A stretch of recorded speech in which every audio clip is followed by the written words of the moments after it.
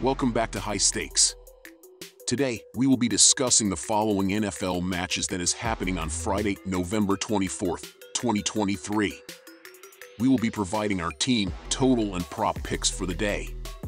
Before we get started, please remember to subscribe to our channel and turn on notifications so you don't miss any of our videos. If you want access to our premium picks, you can check out our Patreon page. You can find the link to our Patreon page in the description and comments section below. Miami Dolphins versus New York Jets. Since the opening of the betting line on Sunday night, the flow of money has overwhelmingly favored the Miami Dolphins. Initially set as a seven-point favorite, the Dolphins' advantage increased substantially after news broke about Zach Wilson's benching from the Jets. Even before this change, bettors weren't inclined to support the Jets, and once Mike White was announced as the starter, the influx of bets favoring Miami intensified.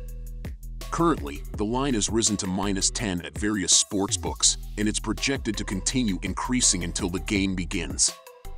However, despite this momentum, it's essential to note that the Dolphins haven't performed remarkably well recently, going 1-3 against the spread, ATS, in their last four games.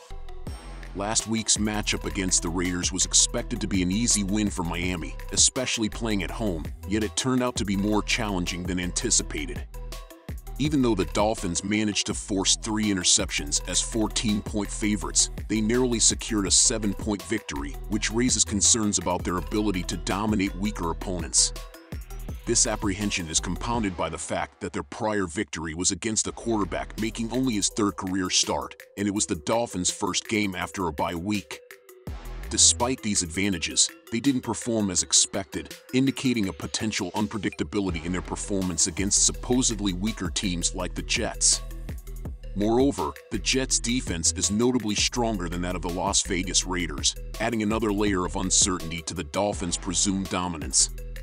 Nevertheless, if the Jets' offense continues to struggle, their defense may succumb to pressure, potentially allowing the Dolphins to secure a substantial lead early in the game. Observing the performances of both teams throughout the season, it's challenging to envision any scenario where the Dolphins don't emerge dominant. The Dolphins possess a significant offensive advantage over the Jets and might not even need to perform at their peak to comfortably secure a win and cover the spread in most foreseeable circumstances. This aspect poses a daunting challenge for those considering betting against Miami this week, as their offensive superiority creates a considerable barrier for any opposing strategy. Zach Wilson bears some responsibility for the Jets' offensive struggles this season, but it's crucial to recognize that the team's issues extend beyond him. Wilson has faced consistent challenges due to a lack of protection in the pocket, hindering his ability to generate productivity. Defenses have exploited this weakness by focusing on shutting down running back Breece Hall, knowing there's little threat from the Jets' passing game. Consequently, the Jets' offensive woes have persisted throughout the season, creating a continuous cycle of inefficiency. The decision to place Joe Flacco in a no-win situation is likely to result in further agony. He faces physical pain behind an unreliable offensive line, leaving Jets fans to endure six more games of watching an offense that struggles to gain yardage. While Flacco might represent an improvement, considering he only managed to score one touchdown in three games, it's a low bar to surpass. On top of this, his debut game places him against one of the most explosive offenses in the league, adding to the pressure. Adding to the Jets' woes, the absence of offensive tackle Mekhi Becton due to an ankle injury until early December, along with the questionable status of veteran offensive tackle Duane Brown due to a shoulder issue, only exacerbates the team's already precarious situation. I'm firmly in favor of picking Miami to win this game. While I do have some concerns about the short week and the fact that they're a strong favorite on the road, these worries aren't enough to sway me toward considering any other option.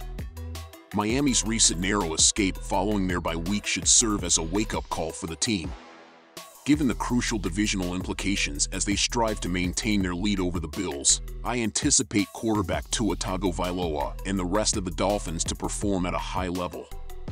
In past Thanksgiving games, we've witnessed weak Detroit Lions teams consistently fall short despite being home underdogs in similar short week scenarios.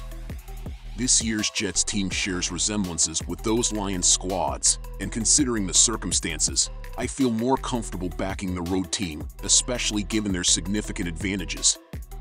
Moreover, there's limited exposure to Joe Flacco within the Jets setup, and even if the team as a whole were stronger, I might be inclined to place more trust in Flacco's abilities. However, the Jets' offense is struggling comprehensively, and I find it hard to believe that Flacco represents a substantial upgrade. If I happen to be mistaken, I'm open to allowing Flacco to prove his worth, but currently, my confidence in the Jets' offensive capabilities is quite low. Considering Boyle's potential to at least maintain the status quo and the likelihood of the Jets' defense faltering, I'm inclined to lean towards betting the over on the total points for this game anticipating Miami's offense to assert dominance early and possibly build a substantial lead. I don't foresee the Jets' defense holding up for an extended period. This scenario could pave the way for the Dolphins to string together significant offensive gains, especially in the latter half of the game as they aim to secure a comfortable victory. Miami has shown a tendency to capitalize against weaker opponents, often racking up points even when the game seems in hand reviewing Miami's performances against teams currently at or below .500 this season, the Chargers, Patriots, Broncos, Giants, Panthers, and Raiders, the Dolphins posted scoring figures of 36, 24, 70, 31, 42, 31, and 20 points respectively, resulting in a 4-3 over-under record. Even if we exclude the outlier of the 70-point game against Denver, the average remains impressive at 30.66 points per game. Considering Miami's potential to score 30 points or more, the Jets might struggle to put up significant points yet again. Even if the Jets failed to score a touchdown, Miami's offensive output might still be sufficient to surpass the total points line.